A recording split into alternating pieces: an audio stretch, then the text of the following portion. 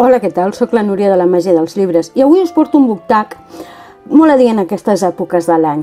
És el buctac del hot drinks o les begudes calentes. Ara que comença la temporada de fred, sofà, manta, un te, un cafè calentó, una xocolata i un bon llibre, crec que és el més adient. A més, jo sóc molt aficionada a, a llegir tapadet amb una manta i amb una bona tassa de te al costat. Comencem.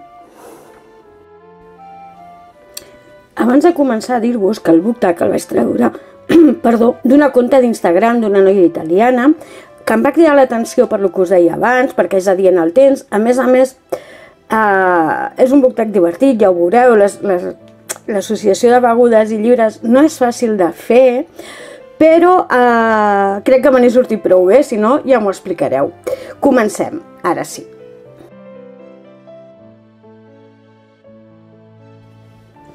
La primera beguda que ens parla és el cafè express, un llibre breu, ràpid i que es pugui llegir d'un sol glob. En aquest cas n'he portat dos. Un és a uh, Po, de Stefan Zweig, editat per Quaders Crema. És un llibre curtíssim que es llegeix amb un sospir. Uh, és un llibre que a mi em va agradar força, no havia llegit res de l'autor, em vaig endinsar a la seva prosa amb aquest llibre i em va agradar molt. Com sempre us dic, hi ha les ressenyes de, de quasi la majoria dels llibres que porto en el blog, les podeu recuperar, en el meu perfil d'Instagram hi ha un enllaç a tots els enllaços del blog. Uh, dit això, el segon llibre és Un camí té el cor robat, però robat, de lo millor que he llegit en els últims anys, i no és altre que L'últim amor de la baba Dúnia, de la Lina Bronsky, editat per l'editorial Les Hores. És un llibre preciós, que t'enamores de la baba només veient la portada, de veritat. Um, és un llibre que està situat a Txernòbil, la, la baba viu a, a la zona d'exclusió de Txernòbil, no hi és sola, és ella i un grup de, de gent gran de la seva edat, i és, bueno, pues això, la vida a la zona d'exclusió, però explicat d'una manera jo diria que quasi divertida, no, no, no, no és la paraula divertida, però distesa, distesa sí que és la paraula, que t'enamores de la prosa de la, de la Lina Bronsky i, i sobretot del personatge de la baba. Un llibre que recomano molt, molt, molt, moltíssim, de veritat que sí. És un llibre curt, express, vull dir, Cafè Express, doncs és un llibre curtíssim, té res, 132 pàgines, a més a més és que es llegeix ràpid perquè mm, eh, passa bé, eh, és una història que tira endavant, que flueix i, bueno, un cafè, eh, un cafè express, a l'últim amor de la baba Dúnia i la por de Stephen Zweig.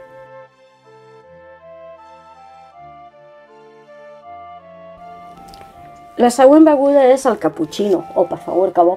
Un llibre amb un gust sofisticat, però informal, mm, que no sigui pesat, aviam. Jo no sé si és sofisticat o no, però és un llibre que a mi m'ha encantat. És el Club de la Buena Estrella de la Mitant. L'heu vist en el book haul d'aquest mes perquè va arribar fa molt poc a casa. Ja el tinc llegit, encara tinc les senyals.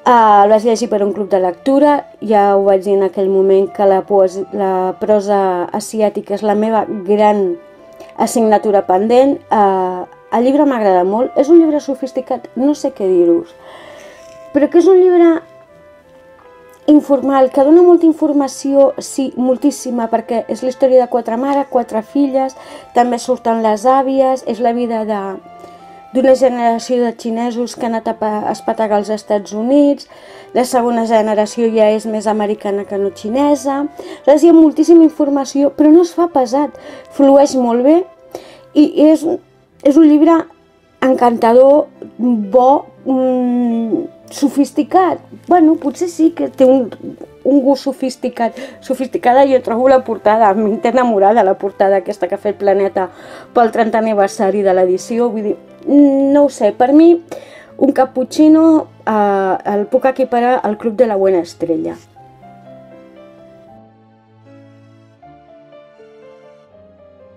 La tercera beguda és el cafè amb llet i ens demana un llibre que et recorda la teva infantesa, però que rellegiries amb gust i que és apte per tothom. I en aquest cas també en porto dos, un és els contes d'Andersen, eh, a mi m'encanten els contes d'Andersen, tots ells, m'agraden moltíssim. I el, no és que els rellegiria amb gust, és que ho faig, de tant en tant m'agafa la banada i me'n llegeixo un o dos, depèn del meu estat d'ànim i del meu humor, però m'agrada tornar a intentar-me en aquest món uh, infantil, que que em reporta pues, això als anys d'infantesa, quan era petitona, que són aptes per tothom, clar que sí. I l'altre que porto mm, és Lewis Carroll, Alicia en el País de les Meravilles. Jo vaig arribar a Alicia, pues, suposo que com tota nena de la meva generació, a través de Disney, com no.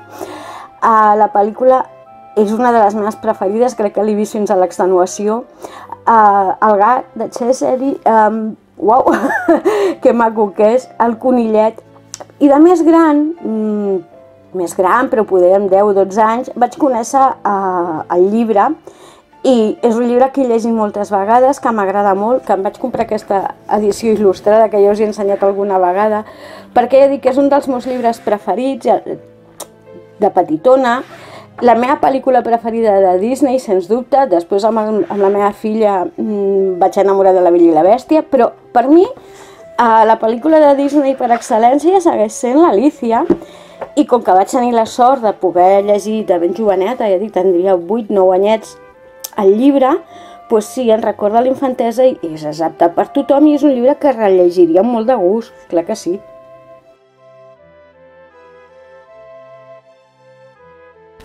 La següent beguda és un dels meus vicis, el xocolata calent, bueno, xocolata en qualsevol estat, líquida, sòlida, m'és igual, m'encanta, però la xocolata calenta és una delícia.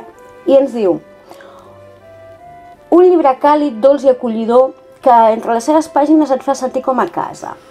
Bé, en aquest cas, eh, Cançó de la Plana, del Ken Haruf, editat per Periscopi, a la primer volum de la trilogia de la Plana, i és un llibre que quan el vaig llegir em vaig enamorar de la, de la població on passa, em vaig enamorar dels seus habitants. És un llibre que et fa sentir... La població és Holp, a Colorado. Um, és un llibre que et fa sentir bé, a gust, com a casa, uh, que transmet calor, és proper, els personatges són molt propers. No sé, és un llibre que m'agrada molt. Mm, aleshores, un llibre càlid, dens, bueno, hi ha històries denses, sí. Càlid, molt. Dolç i acollidor, moltíssim. Hi ha dos germans bessons que són meravellosos, que et fan acollidors, que tenen un cor que no els hi cap. No sé, és un llibre que a mi m'agrada molt i que em transmet tot això. Uh, tota la trilogia ho transmet, però sobretot la cançó de la plana. El primer volum, per cert.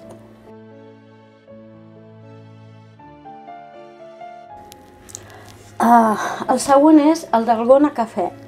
No sé quin tipus de beguda és, no l'he provat mai. He intentat buscar informació però no me n'he sortit, sincerament. Però la previsa ens diu un llibre elaborat amb un sabor inesperat. En aquest cas us porto un llibre de la Maria, Maria Vilanova i Vila, Vilavadal, L'amor, una lliçó de vida, ens pregunta. És un llibre que tracta del dol, és un llibre dur, punyent, per lo que tracta. Estem parlant del dol. Ella ens explica tot el dol que ha passat al llarg de la seva vida. Però té un, un regust inesperat, sí, perquè de la manera que ho fa no et fa sentir malament. Al contrari, jo el vaig llegir pot després de la mort del meu fill i em va ajudar moltíssim a passar el dol, moltíssim. Um, jo em pensava que seria un llibre molt dur, que em costaria molt de llegir i, i, i no, i no. Li vaig agrair molt a la Maria que me'l fes arribar, me'l va fer arribar quan va saber que jo havia perdut un fill. I és un llibre molt curtet, molt, val? 126 pàgines, no és fàcil de llegir, no és fàcil de llegir, però sí que té mm, un llibre elaborat molt, moltíssim, moltíssim, molt elaborat. Jo va, ja els he tret, però va arribar un moment que tenia tantes marques que vaig optar per no marcar res i decidir que tot el llibre era una marca, val?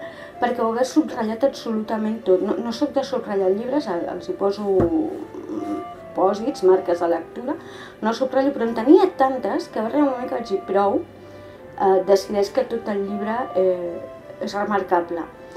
Uh, un sabor inesperat, sí, sí, perquè el que dic, la manera de tractar-ho que té la Maria, mm, fa que tot i el feixuc del tema no ho sigui tant, ¿vale? De veritat que és un llibre que ajuda a passar el dol. A mi em va ajudar moltíssim, sempre li agrairé, li agrairé a la Maria que me'l fes arribar. Ella ho sap i, bueno, mm, no dic gran cosa més, està ressenyat al blog.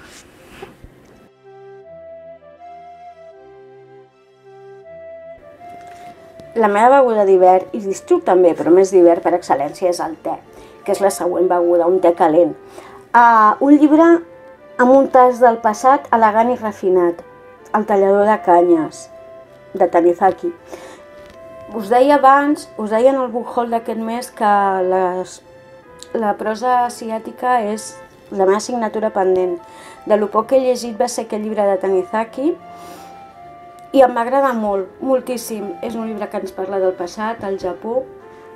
És un llibre molt curtet, no arriba a les 100 pàgines, 94 exactament. És elegant, és refinat, eh, té una prosa eh, exactament això, elegant i refinada.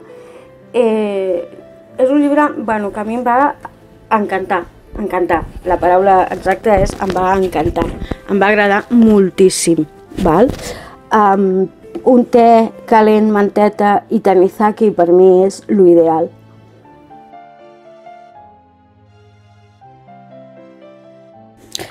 La següent beguda que ens proposen és el chai latte. És un té, el, el chai latte és un té que es fa amb llet i és un té negre molt especial, porta gengibre, cardamomo, pebre, canyella, moltes espècies. I la premissa ens diu, un llibre, entre cometes, posa picant, a molts ingredients que ens dona molt que pensar. Jo en aquest cas m'he decidit per la Maria Aurelia, Maria Aurelia Campmany, perdó, i feliçment jo sóc una dona.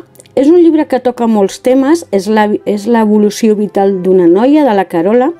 És un llibre entre cometes, picant, que toca molts temes, que dona molt que pensar. Jo crec que és una lectura que tindria que ser quasi obligada, per no dir obligada. No, no dic a l'escola, eh? jo no per, quan parlo de lectures obligades no parlo mai d'escola, sinó al llarg de la nostra vida crec que és una d'aquelles lectures que tothom hauria de fer. Jo la vaig rellegir fa uns mesos per un club de lectura i li vaig treure molt més partit del, del que li havia tret la primera vegada.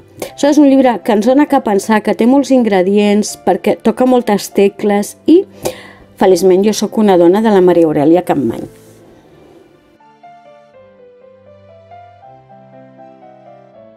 La penúltima beguda, i molt adient en aquest mes que estem, és el Pumpkin Spice Latte o la llet amb espècies de carbassa, i ho pronuncio molt malament, perdoneu-me, i ens demana un llibre per llegir a Halloween. Um, jo soc molt clàssica i aleshores els cuentos d'Edgar Allan Poe o El fantasma de l'òpera de Gaston Lerouge. En aquest cas jo, jo particularment el fantasma de l'òpera m'encanta, l'he llegit moltes vegades i sempre que el llegeixo m'agrada molt terror clàssic, hores d'ara lògicament ja no me'n fa de por, però he de dir que la primera vegada que el vaig llegir i que vaig a la pel·lícula, eh, quasi que no vaig dormir, a més era molt joveneta i no, no vaig dormir. Però jo som molt, molt més clàssica, aleshores tinc una traducció de Poe feta per Julio Cortázar, aquests contes, que este és el segon volum, els tinc tots dos, d'Aliança Editorial, i els contes de Poe per mi són per les nits de por, les nits de Halloween, de la castanyada, jo sóc de castanyada, no de Halloween, però és igual, la nit dels morts. Uh, Poe, Leroux, Frankenstein, Dràcula, per qualsevol dels clàssics per mi serveix. Però el que jo triaria per llegir, i de vegades ho faig, en llegeix un conte o dos, és, és Poe. És Poe, i jo sóc una enamorada de Poe.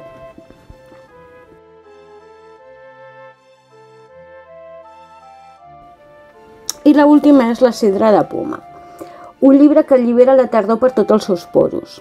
Torno amb Ken Haruf, un dels meus autors fetitxe des de que el conec, amb nosaltres a la nit. Un llibre que transpua tardor perquè és la tardor vital del, dels seus protagonistes. És un llibre molt tendre, molt, molt maco, molt maco. Uh, és una història d'amor incompresa entre una parella de la tercera edat, per això dic transpira tardor, estan a, a la tardor, a l'ocaso, digueu-li com vulgueu, de la, de la vida, i s'acaben enamorant, són veïns de tota la vida. No, no us explico gran cosa, és un llibre que s'ha de llegir, és, és curtíssim, ja veieu que tots els llibres que us he portat avui són molt curts. Aquest no sé si arriba sí, a la 151 plana. És, és res, és curtet. Hi ha la pel·lícula, però feu-me cas, no, no. El llibre, sobre, per favor, el llibre, la pel·lícula, és que no té res a veure. És una altra història. És una altra, és una altra història, sense més. Jo no dic que sigui dolenta, és una altra història. Aleshores, llegiu el llibre de Haruf. Llegiu a Haruf, directament, no? Però aquell llibre, la cançó de la plana, tota la trilogia a mi m'agrada molt, ja ho he dit abans, però si parlem de la tardor, a nosaltres a la nit, editat per Angla i amb una molt bona traducció de l'Anna Torró, un llibre molt maco, molt tardorenc, molt de, per llegir, sí, arropat amb una manteta, una beguda molt calenta. Bé, tardorenc totalment, nosaltres a la nit del Ken Haruf. I fins aquí aquest buctac de les begudes calentes, ja veieu que és un buctac que costa lligar llibres i, i begudes, m'ha costat una mica, hi ha hagut algunes premisses que m'ho he tingut que pensar molt, d'altres que ho he tingut molt clar de seguida. Uh, com sempre, moltes gràcies per haver arribat fins aquí i fins la propera.